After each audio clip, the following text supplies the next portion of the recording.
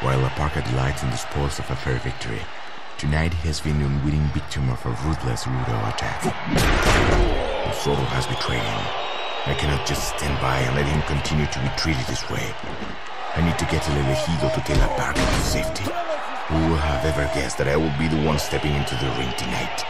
Well, since fate has sounded the alarm, it is my duty as a technical to answer it. This rookie is on the great things. Zorro has put many psychiatrists out of business. He's about to die. This is high risk. That was a rough struggle.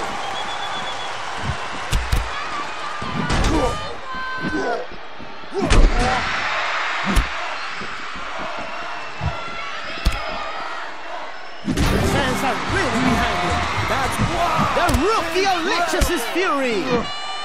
The greatest show on earth. The AAA Caravan. And also with the best wrestlers in the world.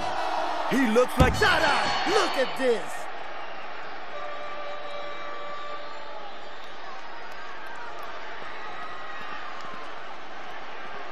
La Parka have been taken to safety, and El Zorro have been taught a lesson he will never forget. We discovered the true goal of the rulers that night stealing the Mega Championship belt.